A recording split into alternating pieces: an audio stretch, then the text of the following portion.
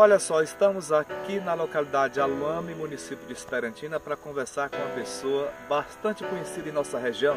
Ele já foi locutor, estou falando do seu Caruso e é com ele que nós vamos conversar agora. Ele tem uma longa história para nos contar.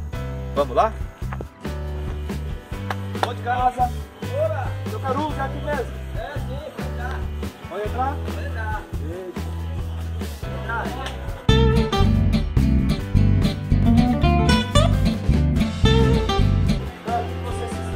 Vai estar seu beleza? Posso, Pois é. Bem, meu filho. Como eu havia combinado com você, eu vim contar um pouco da sua história pra gente saber melhor um pouco de você, pode ser? Pode ser, vamos sentar, vamos conversar. Pois vamos.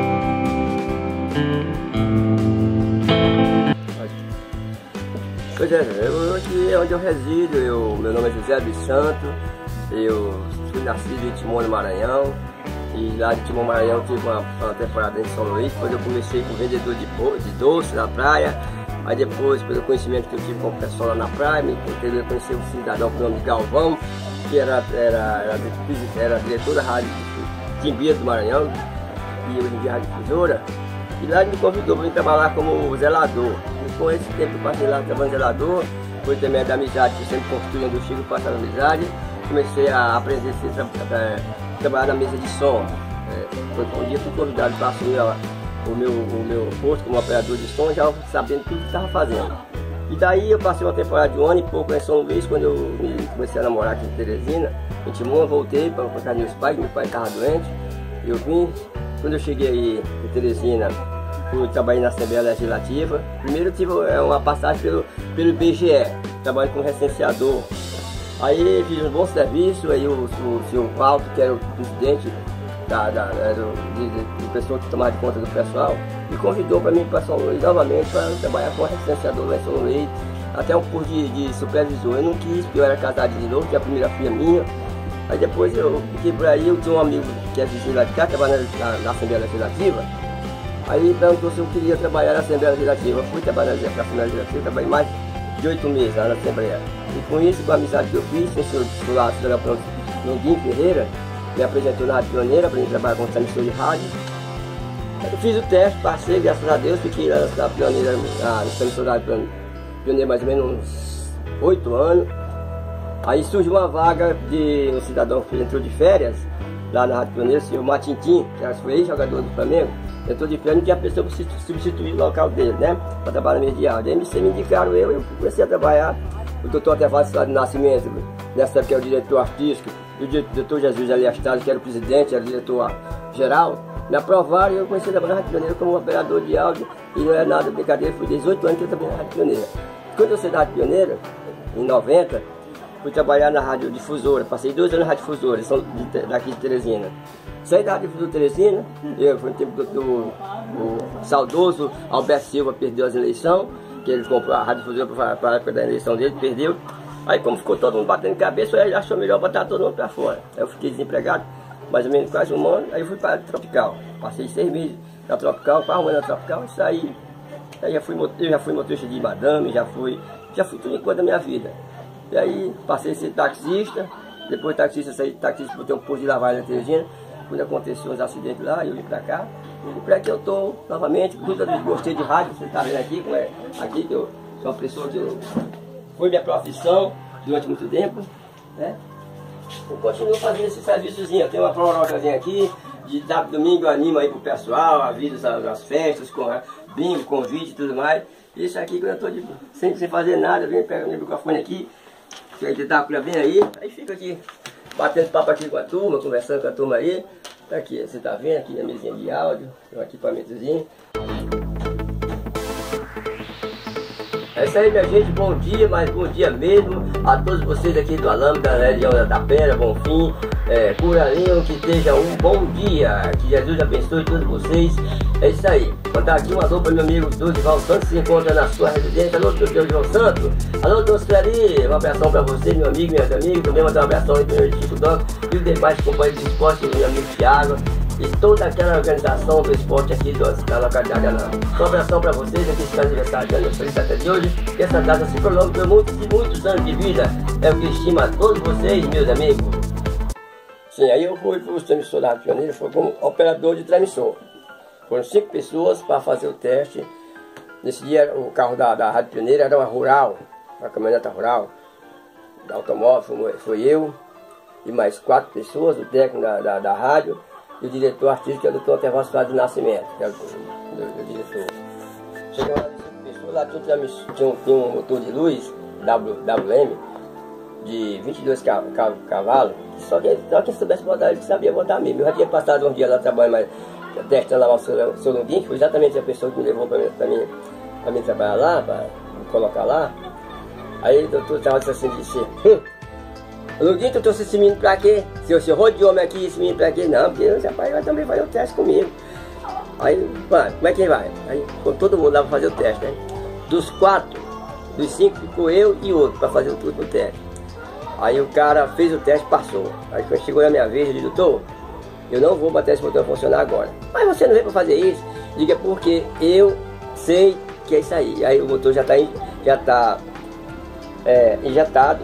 Vou deixar passar 5 minutinhos e botar ele. Aí eu fui, peguei. Aí eu fui, peguei, injetei o motor. Aí quando eu botei para funcionar, o doutor deu disse assim, rapaz, vocês três homens desse aí, perderam para esse menino, rapaz. Aí o menino botou o motor para funcionar. Mas aí eu tinha que passar pelo teste lá na, na rádio mesmo. Vinha, voltamos todo para a rádio, fizemos o teste, eu passei em segundo lugar. Outro foi em primeiro, fez em segundo. Mas a vaga só era uma. Doutor, do seu Luiz Peba, que era o técnico da rádio pioneira das emissões de rádio Teresina, ficou com pena de mim, porque eu era um, um cara, eu venci carro, que só tinha minha mãe, e era casado de novo, tinha uma filha. E ele tô até, esse rapazinho é um bom rapaz. Tá, não, mas aqui desse negócio não, aqui tem, passa quem sabe, não sabe, não passa não. Eu fui lá pra, Peça Pedro II, chorando, tomando um refresco, um refrescozinho aqui, assim, Zequinha.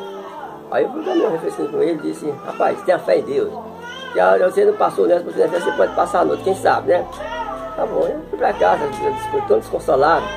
Só que o rapaz que passou no meu, no, no primeiro lugar, diziam que o rapaz gostava de fazer mão leve, né? E aí foi o conhecimento do homem. Aí eu tava onde ele tava lá em casa, quando o José Pochino chegou assim, Zequinha, te prepara, leva logo tua janta que tu vai trabalhar. Eu digo, aonde, rapaz? Lá no chama da rádio, tu passou. Aí eu fiquei muito alegre, aí eu fui, trabalhei. Aí eu trabalhava 24 horas, folgava 72 horas. Dentro dessas 72 horas, eu ia lá pra rádio para construir minha amizade, que eu sempre gosto de fazer isso. Com essa, essa construção de, de amizade, que se deu que hoje em dia eu sou, eu sou um grande operador de rádio. Aí trabalhava na de São Luís, foi, foi um dia de passeio, o seu Galvão, que Deus tem um bom lugar, que eu de acidente de avião. Chegou lá na Rádio Pioneiro, eu estava na mesa aqui trabalhando. Aí quando ele chegou, disse assim para o Otevado, Otevado, esse filho do bem, eu conheço ele. Esse aqui eu conheço ele e sei quem é ele, ele vou levar. O doutor deu decisão, senhor, você quer um operador bom, vá, vá construir, porque quem sei quem fez foi isso, não, quem fez foi eu lá em São Luís. Aí, ele foi, foi, foi, foi, foi mesmo, Santa? Eu disse, foi. Eu aprendi por lá, mas eu não quero ir para lá mais não, quero ficar aqui, doutor. Se depender de mim, o senhor fica aqui. Então, não vou, não vou fazer questão por isso não, Galvão. Graças a Deus, eu peço a Deus, eu sei o que eu sei. Muita gente que eu não sei. Aí comecei a trabalhar na hora de esporte. O, o meu amigo Dimo de Castro e meu confrade, Carlos Sádia, gostava quando eu estava na mesa de áudio para fazer a transmissão de São Luís. Naquele tempo era a transmissão era feita por telefone, Fortaleza, eu fazia por telefone com cabo, era ligando, captando cabo, botando na, por telefone a linha direto. E o Dimo de Castro nunca reclamou para mim que eu deixava buraco, então botava eco na, na, na transmissão dele. Então eu, eu era chamado primeiro operador da Rádio Pioneira, que eu sabia trabalhar. E com aquilo, eu, quando eu estava de folga, eu ia para o campo de futebol, para o Albertão, o Lindolfo Monteiro, ia para o Campo Maior, para Parnaíba. E aqui eu servia de uma, antigamente, de uma uma armada de áudio, de som, era empenduradinha aqui, que nem isso aqui, ó. Empenduradinha aqui, aqui, headphone aqui no vídeo, você ficar controlando aqui o sinal de áudio do, do microfone da, do, da, da, da, cabine. E com isso aprendi. Precisa saber o que é futebol. Hoje em dia eu sei, eu não vou dizer que sou um bom que você entende de futebol, mas sei comentar um futebol, sei para onde começa. Agora quem não pode fazer é o que sabe, porque é, é, é campos abertos, você pode dizer que o jogador pegou o pé, dizer que o juiz apitou, puxou por saco para um, porque realmente não pode. Mas eu conheço futebol, sei que é futebol, e estou dizendo para você, meu amigo, porque até onde eu cheguei, graças a Deus, tenho minha passagem limpa. Graças a Deus, em qualquer emissora de rádio, eu tenho um, sobrinho que é radialista, que é o, o, o, o. Tenho o, o Joninho, que é do América, que é, foi jogador do América. Tenho meu, meu cunhado, que é o Ronaldo de Sá, da televisão. E tenho o meu filho, que é o César Vanoite, que é o regueiro. Só que pessoa me a foi essa, essa família, graças a Deus, todo mundo está na boa. Tenho minha família, construí duas famílias. Estou aqui, sua qualidade, passando a chuva, uma qualidade dessa boa. Né? E demais, meus amigos, eu quero parabenizar para todos, meu amigo Dorival Santos ali, que eu, eu, estimo muito, eu gosto dele, pena que ele não está aqui, mas o que pode dizer? Pode dizer que, tô, que às vezes eu tô, sou uma pessoa construída, sou aposentado, né? não fui aposentado pela rádio, porque quando eu saí da rádio, eu saí, eu saí em 90. E só me aposentei em, em, em 2011. Estou aqui, graças a Deus, Continuando a nossa, nossa, nossa conversa, agora eu quero falar um pouquinho é, de como eu fui sindicalizado na Pioneiro. Na da Rádio Pioneiro, o, o, o, o, presidente do sindicato de radialista era o Oscar de Barro, inclusive foi assessor do nosso governador é, Wellington Dias.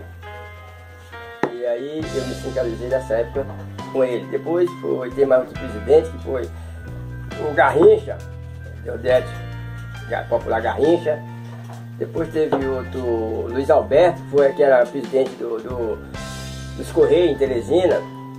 Também foi presidente, eu sempre era sindicalizado lá é, pela Rádio Pioneira, como operador de áudio.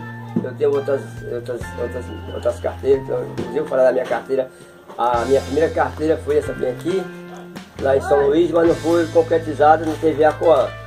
Aqui, essa bem aqui não chegou a ser assinada porque foi que meu pai adoeceu Aí eu vim para Terezinha, para Timon.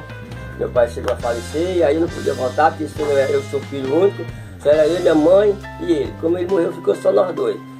Aí eu não podia deixar minha mãe já velhinha para ir para o não tinha, não tinha aquela, aquela, aquela vocação de voltar mais São Luís. E aí, foi quando eu tirei essa carteira aqui, essa aqui, tá vendo aqui? Tá, não parece eu, mas é eu. eu aí, enchi, enchi, era só da, da, da pioneira que são mais de quase 10 anos só nisso aqui, nessa, nessa, nessa carteira. Aí foi preciso aí, tirar mais outra carteira, porque a carteira já estava cheia. Aí, aí a Rádio pediu mais outra carteira para completar o resto. Aí tá aqui, ó, quando teve que sair da Pioneira, tá tudo aqui. Tá tudo aqui. E graças a Deus eu, eu fui uma pessoa muito, muito, muito, aliás, a pessoa conhecidíssima. Quem é que vai Terezinha perguntar quem é o Caruzinho? Eu fui, eu fui depois de ser da pioneira, eu fui motorista de madame, viu? Trabalhei com aquela Adana Socorro, é, irmã do doutor, salva a memória o nome dele, que é o dono da, da, daquela contribu, contribuinte. Aí que saí de lá, fui ser motorista de táxi? Motorista de táxi, taxista há mais de 10 anos, fui assaltado umas poucas de vezes, graças a Deus, mas nunca aconteceu nada comigo. Apenas levava o dinheiro, as coisas mas graças a Deus nunca aconteceu nada comigo. Fui assaltado sendo taxista. E depois, eu sei quando eu deixei o ramo de taxista, coloquei um posto de lavagem lá em Teresina, estava indo muito bem, até quando apresentou a, a, as coisas que o pessoal diz, inveja, olho grande e tudo mais, e chegou a minha fatalidade de terminar minha, minha, minha, o meu, a minha empresa. Mas graças a Deus, está aqui o meu certificado para quem quiser ver, está aqui eu. Aqui, ele aqui. Aqui. E tem ali, eu sou, eu sou, eu sou, eu sou credenciado também ao Banco do Nordeste. Se quiser fazer qualquer apertar ali meu certificado do Banco do Nordeste, tá bem aqui, ó. Ali. Eu sou uma pessoa realizada, meu amigo. Pessoa realizada, graças a Deus. Eu não tenho dinheiro. Não tenho dinheiro, graças a Deus. Quem no interior desse tem dinheiro. Mas tenho a minha pessoa, minha bondade, com a minha família, com meus amigos, com os demais que me, me arrodeiam. Graças a Deus, eu sou uma pessoa realizada nesse sentido. Tenho 71 anos, para os 72 anos, não vou dizer que sou um cidadão sadio, temos problemas, mas então, talvez eu vá até o 100, se Deus quiser, que é Deus me desejo. E o resto está tudo bem, graças a Deus, está aqui. Qualquer um chama para vir, quiser vir aqui na minha residência, é pobrezinho, mas é digno de qualquer cidadão. Graças a Deus. Meu, meu ideal é montar uma rádio comunitária bem estruturada. Para isso eu queria que pedir quem vai assistir esse vídeo que me ajude. Meu nome é José dos Santos, mais conhecido como Zé Caroso. Me ajude a construir minha missão de rádio, que, é, que eu morro satisfeito. Nem que seja para mim começar lá hoje e morrer amanhã. Mas morro satisfeito porque foi a profissão que eu abracei de coração e até hoje eu gosto. RPFM, a Rádio Popular, Rádio da Comunidade aqui do, do. Nós estamos aqui eh, falando sobre a juventude, essa juventude que hoje em dia estão desempercadas aí, fazendo coisas erradas, mas a gente aqui agora encontra a, a, o ideal da boa criança querer seguir alguma coisa na vida. Como nós temos aqui o nosso amigo Jefferson. Ô Jefferson, você, quantas idades quais sua idade? Doze. Doze anos? Doze. Ô Jefferson, você estuda? Estudo. É, tá bom no colégio? Estou. Jefferson, quando, se Deus quiser, você vai se formar. Se por acaso você não chegar a se formar, haver algum contratempo, o que, que você gostaria de ser? Depois de formado ou antes de formado? Jogar. Você quer, você quer ser goleiro? Futebol. Olha aí, quer ser goleiro de futebol. Mas não seria melhor você estudar para ser uma pessoa mais adiantada na vida, não? Tá bem, né? Também, né? Mas a sua, a, a, a, o seu, seu idealista é ser um jogador de futebol, goleiro. É. Eu sei, quantos anos você tem? 12? É. Você tá pequenininha para ser goleiro, tem que crescer um pouquinho, né? né?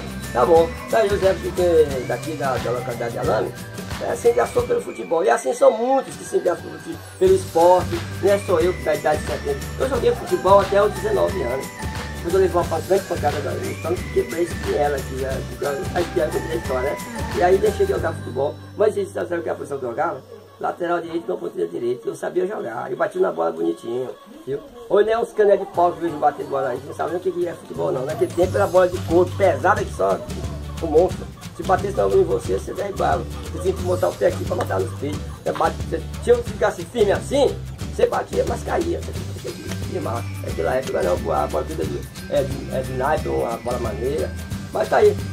Senhores, senhores ouvintes, vocês que estão acompanhando a RPFM, Tá aqui um rapazinho novo, já procura assim, ser, ser mais uma pessoa na vida, é, ser mais inteligente, ser um jogador de futebol, um goleiro. Isso serve para nossos empresários, que realmente não ajuda aqui a, a juventude, que viu uma criança desse tamanho, já procurar a maneira de que ser um grande jogador. Muito obrigado, Jefferson, e que você seja bem feliz na sua trajetória, tá bom? Obrigado. Como eu estava falando para você, que eu entendo ainda um pouco de esporte, olha, lá em Teresina, eu fui secretário de esporte, fui secretário de comunicação de esporte, fui presidente de- da- do clube, do clube de, de- de esporte lá em Teresina, lá numa França, fui diretor de esporte e fui dono de um time por nome Game cinco anos. Dentro desses cinco anos que eu fui diretor, dono desse time, nós fomos campeão quatro vezes. Também aqui eu, eu recebendo a, a minha, a minha condenação de, de- de diretor de esporte do clube de jogos de uma frente. Aqui é o Lúcio, é um cara que foi candidato a vereador, lá não sei se ele foi candidato, se ganhou. Esse cara que era o presidente, eu, você vê, se eu entendo de futebol, o cidadão entende de futebol. E eu ganhei dele na, na eleição, estou aqui recebendo passando aqui, eu ensinando minha, minha, essa como es- esportista. Aí eu, muitas vezes o cara diz assim, ah, o Carlos não entende de nada, mas você não entendeu, você não deve desse camarada aqui. O cara que é, é, é, é, um autêntico esportista lá, eu ganhei como presidente de esporte, fiz, vários campeonatos lá, campeonato de de Castro, campeonato Gomes de Oliveira, campeonato Carlos Salles, campeonato é, da Fazenda de de Castro, Armazém Paraíba, viu? Tinha um cidadão no Armazém Paraíba com o nome Gaguinho, melhor esportista, tem o Zé, o Zé que é o rapaz que toma de conta do esporte no, no Paraíba. Você chega lá e pergunta, rapaz, você conhece um rapazinho desse tamanho assim, por nome de Caruso, um de esportista, eles vão dizer quem é. Olha, pode falar a verdade, é o seguinte, quando eu cheguei aqui na França, que me envolvi, a primeira pessoa que me envolveu aqui numa frente com o esporte foi o Thiago. Aí um dia eu fui lá o Thiago da prefeitura e falar que eu nem conhecia o, o Apamenonas. Falar sobre esporte lá pra eles, que nós queríamos um material lá. E aí eu falei, né, minha pessoa pra ele lá, ele não acreditou, o Apamenonas não acreditou. Ele foi pegar o material lá em Teresina, e lá na Semel ele falou que meu nome, esse rapaz, é o Caruso. E rapaz, aqui é um pior de futebol, rapaz. Olha, chegou pra mim e disse, "Ô, Caruso, eu na sua frente eu sou criança. Eu sou criança, você é um, você é um, você é um esporte. Agora que eu chego numa frente, tem muitos que cidadão que sabe, não quero. Mas você já viu como é que eu faço no esporte? Não sei de fute- fute- de futebol. Mas graças a Deus, o que eu sei é só pra mim. Leva aqui na minha cabeça. Se alguém quiser, quiser que, que eu colabore com alguma coisa, eu não em matéria de dinheiro outra coisa, mas de sabedoria do futebol, como é que faz, eu estou aqui para qualquer um chegar aqui e falar para mim, sou Carlos, como é que a gente faz isso assim assim.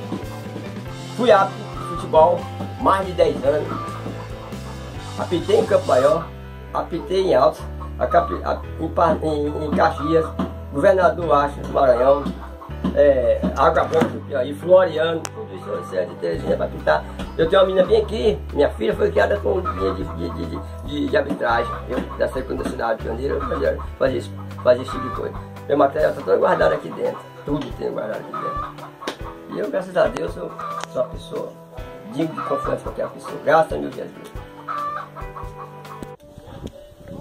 Pois é, meu, eu também, nas minhas horas de folga, aqui, parece um pneu de uma moto, eu remendo, parece uma, uma, um pneu de um carro para trocar, tem ali desembaçador, desembaça o pneu, nós encha.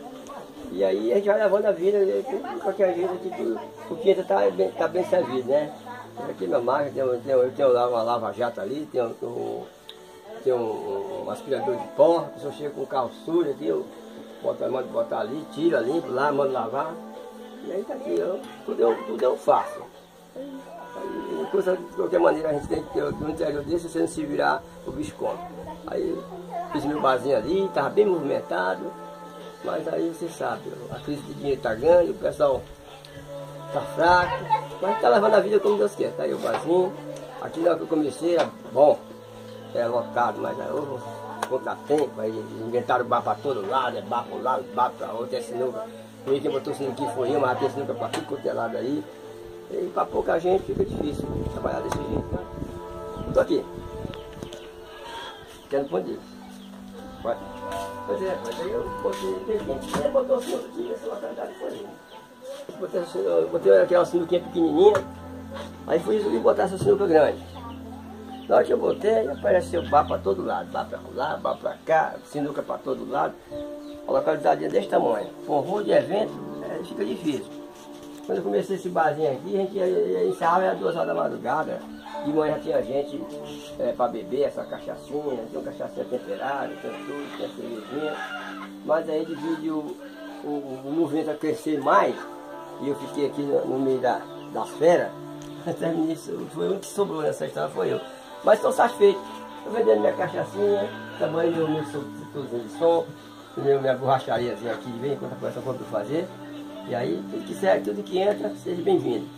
E eu só peço, só não, não peço pancada, mas o resto tá tudo bem. Tenho minha família aí, graças a Deus. Um terrenozinho bom. Eu tentei vender, mas não quero vender mais, porque o que eu vou vender aqui não vai dar para mim comprar cada boa lá no centro. Então fiquei minha propriedade Aqui de lá do meu sogro, minha cunhada. E graças a Deus, está tudo bem. Olha, eu gostaria de agradecer a todos, a você e demais por essa oportunidade de estar me dando de fazer esse vídeo comigo hoje, deixando um lembrete para essa juventude de hoje. Não é só para cá não, para o Brasil inteiro. Juventude, faça como eu fiz, chegue onde eu cheguei. Procure estudar, procure ser alguma coisa na vida como eu fui. Eu não tive a condição de aprender a estudar. Eu estudei até o científico, né? hoje em dia agora é primeiro grau. Fiz meu científico bem feito, que não sei mais nada que já esqueci. Mas fui jogador de futebol, assim, as peladas. Eu jogava futebol. Deixei de jogar futebol, eu tinha 19 a 20 anos. Em 21, com 21 anos eu me casei. Tive minha primeira filha em, em, em, em 1970, que é a minha filha mais velha. E sou, porque eu sou, cheguei onde eu cheguei, com minha força de vontade, que eu era filho único. Realmente meu pai deixou muita coisa boa para mim. Acabei tudo tudo eu acabei. Eu vou dizer bem aqui, não quero que você faça o que eu fiz. Papai me deixou com seis terrenos bons em Timon e eu vendi para beber cachaça. Eu quero que ninguém faça isso. Eu faço para que dizer do padre, faça o que eu mando, mas não faça o que eu faço. Então peço à juventude de hoje para se conscientizar das, das coisas erradas, fazer, vencer na vida, ter uma, uma profissão, que ninguém hoje em dia vai no mundo sem ter uma profissão. Eu vejo muita gente estudar, fazer o primeiro grau, se formar e vive aqui no interior sem fazer nada porque não tem emprego. Tem grande vão profissão, seja um profissional, como eu sou. Eu sou um profissional. Tenho minha profissão, tenho minha profissão de motorista, tenho a profissão como radialista, não venço mais que estou aposentado, graças a Deus, graças a Deus. Mas isso é minhas considerações finais para toda essa juventude. Que tem, tenho uma grande família, tenho duas famílias, e graças a Deus todos estão bem criados.